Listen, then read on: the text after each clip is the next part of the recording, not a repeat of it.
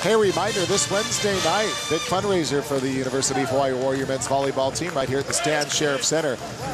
Come on in and uh, meet the gang. A lot of great food and drink and an opportunity to support the team. Go to hawaiiathletics.com and then click on men's volleyball to get details about tickets. $50 and you get a lot of good food and drink for that. And then on Friday, February 1st, it's the first ever Greek night. Put on your toga and come and root on the Warriors. You gonna wear a toga for that one? I think uh, I think Mr. Lofi will, for sure. I would think so. That's against Stanford, by the way. They're next to pay a visit here in the Stan Sheriff. Sarkovic, that's off the touch, and a big point for Hawaii.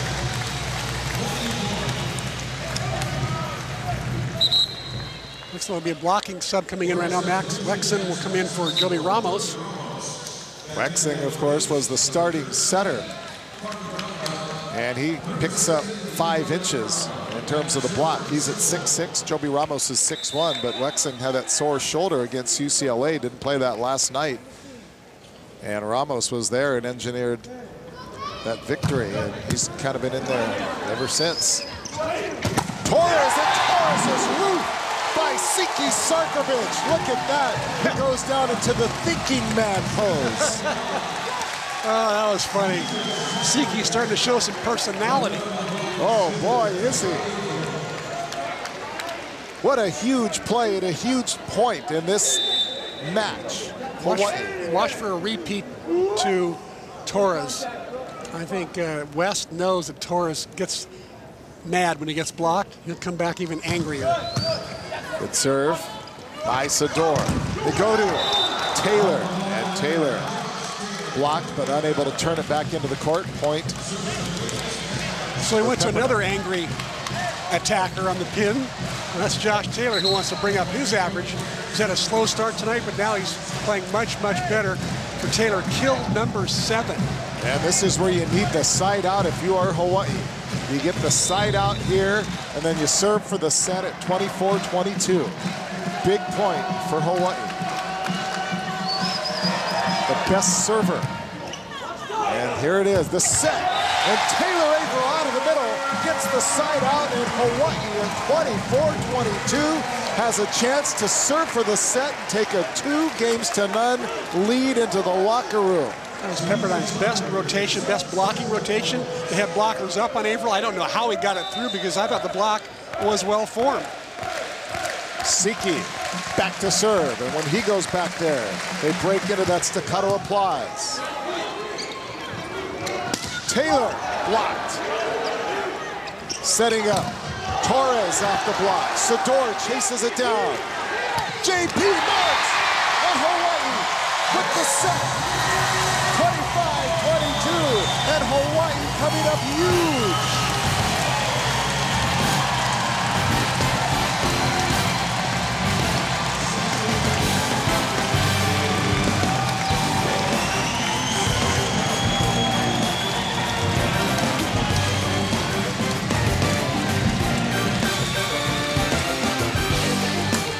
Burger. All righty, Pack. At the Stan Sheriff Center. Chris, let's take a look at these match stats after two sets. Well, the the most obvious thing that comes up is obviously the kills. Uh, Hawaii's got more kills than Pepperdine. Those those uh, translate into points. Hawaii also hitting for a good kill percentage at 290. You know, before this they were hitting 170. So over the two nights, you know, they're hitting over 300 put together. So I know Charlie Wade's really happy with the offense. Blocks, Pepperdine still dominated at the net 10-7 over Hawaii. That's not unexpected. And the aces to errors, Pepperdine still yet to get an ace. That's a tribute to Hawaii's passers. Hawaii gotten, has gotten uh, three aces, uh, and, and, that's a tribute, I think, to Hawaii servers who just get back there and just wail away every time they swing. So uh, what an interesting match. I didn't expect it to be 2-0 at, at, the break. I'll tell you that right now. If you'd asked me a couple hours ago, I would have said no. Would not have been 2-0 at the break. Uh, but I also expect that um, this third set for Hawaii is going to be the most difficult set to win of all both nights put together. It's going to be the most difficult to win. Yeah, we go back to that conversation that you and I had and the one that I had with Charlie Wade, and I said, how much more difficult is it to win the second night, even if you're at home after winning the first? He says exponentially it's huge. He goes, every coach would say that. And everybody is excited, the prospect of being up two sets to none. But you got a lot of caution here because you could very well see us going five again tonight. Yeah. This Pepperdine team It's is so good. The team's too good. It's too well, you know, well coached. They're in great shape. They run big sand dunes in Malibu and run big hills back there. Yeah, Marv. Dunphy gets these guys in amazing shape so that they can go five easily. It's, that's not going to be hard for them. And, and Hawaii players are in great shape as well. So Joby Ramos serves it up to start. And the first point goes to Hawaii as JP Marks does it again, coming up with a huge block. JP Mark just has something with him and Wesley. That's the fourth time in two nights that uh, Marks has gotten the better of Maurice Torres. Joby Ramos back to serve it up for Hawaii. Finally, he gets a little bit of noise behind him. Again, the libero and Garen's kind of bumping into each other. The point, Hawaii, as a net violation is called against Pepperdine. And that's the second time that we've seen Pfluger and Garens kind of collide with one another. And Hawaii with a couple of natural points to start off this third set.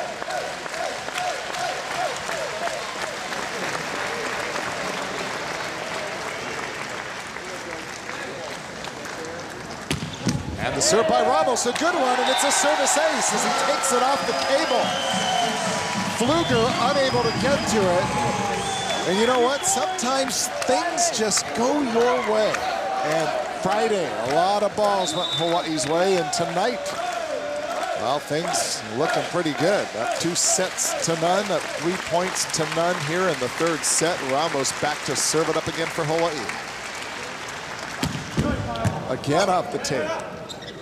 Setting it up over the middle. And that time, the winner by Pepperdine comes right at us and ricochets off Chris's computer monitor, his TV monitor here. A great start for Hawaii here in the third set. Back to serve it up will be Antoneovic. Antoneovic uh, did a nice job cutting the ball back there to get that kill and stop the bleeding for Pepperdine. JP Marks splitting the block. JP Mark's been hitting on the right side all year long, and all of a sudden now he's been playing more left side for ball handling purposes and because he likes it better on the left for the most part. So when he gets the sets on the right, he's very comfortable over there now because he's done so much of it during the fall and during the uh, during the preseason here.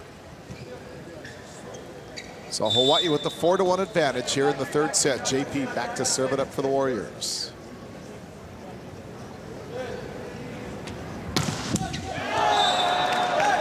Oh, so close right off of that tape, top of the net.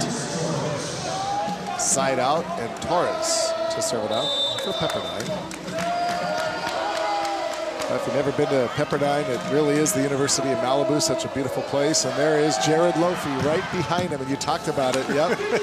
you know that Jared would be in his ear. Brook Sedore takes it off the high hands. So that's a side out point for Hawaii.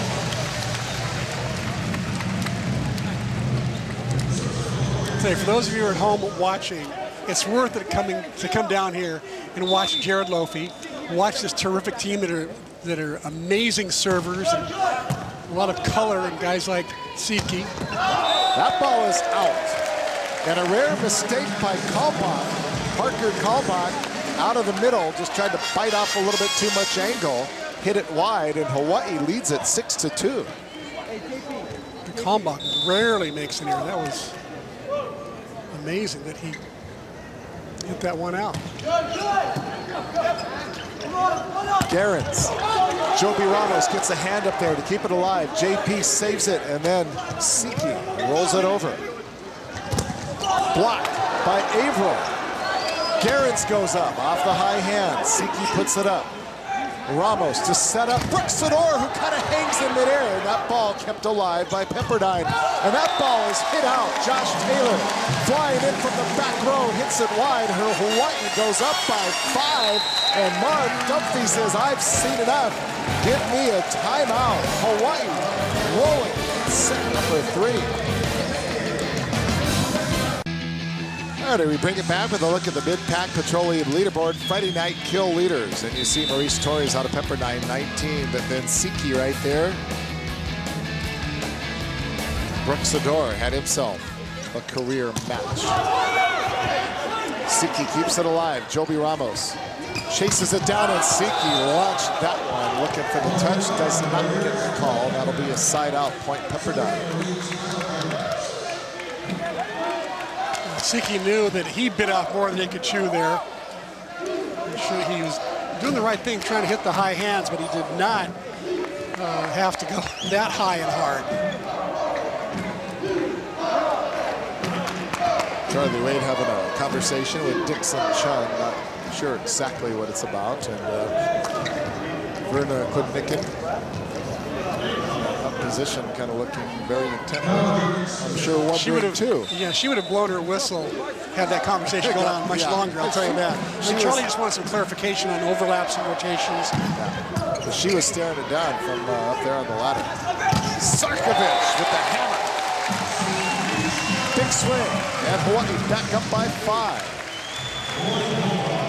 Siki goes from one hit that uh, was not very sharp to one that is very sharp cross court. Well, he's got so much game, so much international experience. Only 18 years old. Speaks some pretty good English. If you watch the, if watch the, yeah. uh, the pregame. Brooks with a strong serve. He has just been a force from behind the serving line. Good block by Hawaii. And Hawaii's going to get a pretty good opportunity. They don't even need to get the opportunity. Josh Taylor from the back row hits it into the net. And Hawaii is up 9 to 3, and the Waves have gone flat here in set number three. Sedore back to serve, and he is fast becoming one of Hawaii's best servers, unquestionably. Get him, Taylor. Another good serve, and on the Joby Ramos puts it down. You know, I'd rather see Joby Ramos get a kill like that than his little dump shots that sometimes get go down and sometimes they don't. But uh, on an overpass like that, the one thing that he forgot to do, though, was he forgot to point to Brook Sedore and say, hey, Brooke, thank you. You are the guy who deserves all the credit. And there he just did. Because the server is the one who really deserves the credit, forces up this overpass. 10-3 Hawaii and set number three. On a Pro Bowl weekend in Honolulu. And, oh, what a pro-style performance by the Warriors so far. Knocking off these second-ranked Waves on Friday. And dare we say, staring down the possibility of a three-set sweep tonight. But they got a lot of work in front of them. And Taylor Averill on cue with the block in the middle. And Hawaii goes up 11 to 3. And Marv Dunphy is going to call his second and final timeout. We're going to take a break. We'll be back with more. Let's take a look at uh, how it works. Watch Taylor Averill here. He does what's called a commit block. He's going to be committed to Parker Kalmbach, who's hurt Hawaii so much in the last two nights. Taylor Averill says to himself, you know what? When that pass goes up close to the net, I am going to commit on Parker Kalmbach, and I'm going to be up there waiting for him. Oh, what a great serve again by Sedore this time. A good pass by Pepperdine, and Josh Taylor ends the run. Still, Hawaii up by seven. It'll be four serving 11. Back to do the honors will be Parker Kalmbach. Kalmbach floats it over. Ramos setting it up out of the backside. Brook Sedore, and Sedore just keeps on coming. He now has 11 kills for Hawaii. Siki Sarkovich with 14 to lead all hitters. Nobody in double figures